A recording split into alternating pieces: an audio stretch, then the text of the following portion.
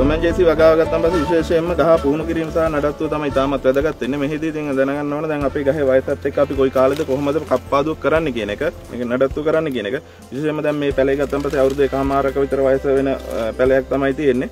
මේකේ පළවෙනි කප්පාදුව කරලා අපි මේ විදිහට අතු තුනක් හෝ හතරක් මේක බෙදාගත්තට පස්සේ එතනින් එන අතුත් අපිට අවශ්‍ය විදිහට හදාගන්න වෙනවා. මොකද මේක පරතරය ඉතාමත් අඩු පරතරයක් තියලා තියෙන්නේ. අඩි 15ක පරතරයකින් තමයි මේ වගාව කරගෙන යන්නේ. එතකොට අපිට ගහ නඩත්තු කරන්න පුළුවන් සීමාව සහ අවශ්‍ය උස සියලු කාරණා බැලන්ස් කරලා හොඳ ආලෝකයක් මේකට ලැබෙන පරිදි අපි ගහ කප්පාදු කරන්න ඕන. ඒක මෙතෙන්දි විශේෂයෙන්ම සැලකිලිමත් වෙන්න ඕන අනවශ්‍ය අතු ටික ඉස්සෙල්ලාම අයින් කරගන්න සහ රෝග පලිබෝධ වලට ලක් වෙලා තියෙන අතු ටික අයින් කරන එක. ඒකම ගහ අපිට අවශ්‍ය විදිහට අනිත් අතු ටික හැඩගස්ව ගන්න එක තමයි මේකේ දෙවෙනි කප්පාදුවේදී අපි කරන්නේ. මෙතනදී විශේෂයෙන් මේ ගහගේ බැලුවට පස්සේ අපිට පේනවා ප්‍රධාන වශයෙන්ම අපි මෙතනින් බලාපොරොත්තු වෙන්නේ නැහැ මෙතනින් අත්තක් හදා ගන්න තවත්. මොකද අපි අතු හතර බෙදාගත්තට පස්සේ මෙතනින් අපිට තවත් අත්තක් අවශ්‍ය වෙන්නේ නැහැ. එතකොට අපි මේකෙන් තමයි ඊළඟ අතු ටික ගන්න අතු වලට.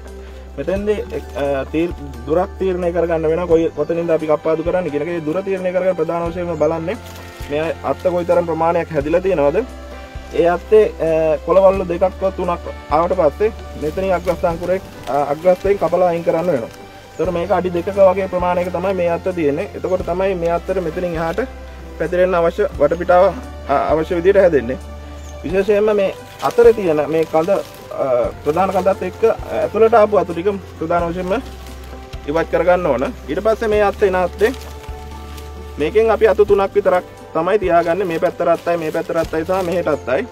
ඒ අතු තුනත් අර කලින් කියපු ආකාරයටම කප්පාදු කරන්න ඕන. ඒක විශේෂයෙන්ම මේකේ පොහොරේ දීම ඊළඟ කාරණේ වැදගත්.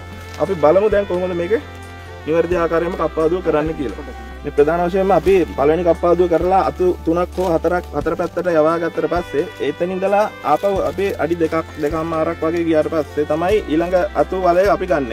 එතකන් මේක ඇතුලේ තියෙන ඔක්කොම අතු ටික අයින් කරලා මෙතන කඳ ඇතුළට ආපහු නැවත අතු හැදීම වළක්වන්න ඕන. ඒකට තමයි නිවැරදි ආකාරයෙන් කප්පාදුව කරන්න ඕන. මෙතෙන්දී අපිට මේ අත්තේ කොයි කොතනින්ද කප්පාදු කරලා කප්පාදු කරලා ඊළඟ අත්ත ගන්න කියන එක මේ අපි ප්‍රධාන වශයෙන්ම කරන්නේ මේ කඳ ඇතුලේ තියෙන අනවශ්‍ය අතු ටික. අයි කියන්නේ කඳ හොඳට ආලෝකය ලැබෙන පරිදි අනවශ්‍ය අතු ටික අයින් කරන එක.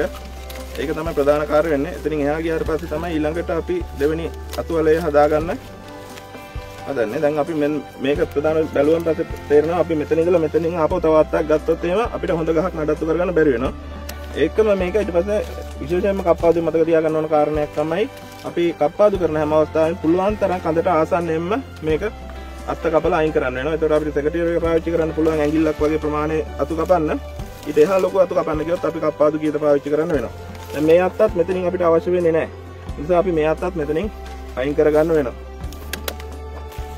අපි අනිවාර්යෙන් කප්පාදු කරනකොට අනිත් වැදගත්ම කාරණේ තමයි මේක විශේෂයෙන්ම මේ කාලේ බලන්න ඕන මොකද හොඳ ජල සම්පාදනයක් තියෙන අවස්ථාවක වගේම පස්සේ තෙතමනේ තියෙන අවස්ථාවක තමයි කරන්නේ අධිකව පෑවිල්ල තියෙන සහ අධිකව වර්ෂාපතනයේ තියෙන කාල සීමාවන් මේ කප්පාදුන්ට තෝරගන්නේ නැහැ.